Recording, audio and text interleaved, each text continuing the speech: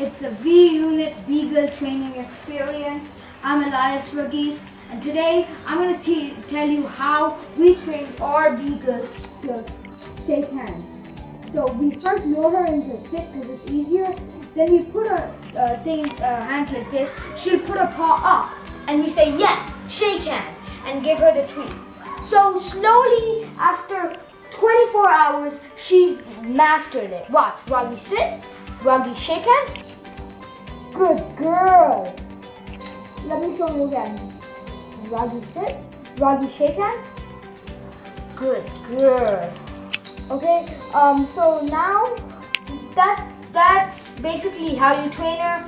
Um, we for the past few uh, for the past two months we've been training her how to sit um, leave it, come, stay. Watch this. Look at me. Ragi, look at me.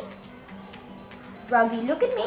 Good girl. Um, she's still a little bit, um, she's, she can still improve. Um, look at this. Ragi, leave it. Ragi, leave it. Good girl. Uh, we'll show you one of our one of my personal favorite tricks, which is come and stay.